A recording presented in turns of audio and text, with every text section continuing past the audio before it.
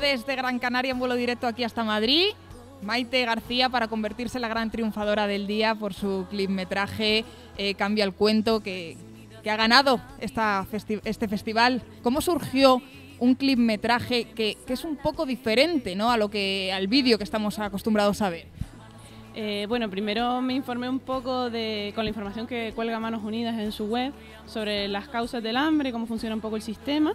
Y viendo eso, pues se veían unas causas que eran fáciles de enumerar, pues se me ocurrió, pues cómo transmito estas ideas, pues igual que me hubiera gustado entenderlas a mí, ¿no? pues como un cuento un poco así, me parecía una forma sencilla. Entonces por ahí fue un poco la, idea. Yo sé que eres veterinaria. ¿Cómo viene tu afición por, eh, por los temas audiovisuales?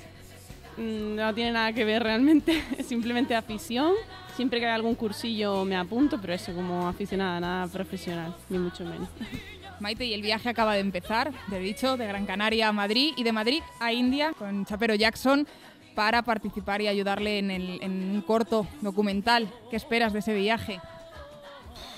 Bueno, nunca he viajado tan lejos y tiene una pinta espectacular, no solo por el sitio, sino porque vamos a ver una, una realidad que a lo mejor como turista estándar uno no puede ver. Así que, no sé, me espero cualquier cosa. Teniendo en cuenta que eres la ganadora de, este año, yo creo que nadie mejor como tú para animar a participar a gente el año que viene. Eh, pues sí, pues decirles nada, que, que, es muy divertido, enriquecedor, luego a lo mejor solo es uno el que empieza con la iniciativa, pero siempre acaba arrastrando a sus amigos y te lo pasas muy bien ganes o no ganes, te lo pasas muy bien. Enhorabuena. Gracias, muchas gracias.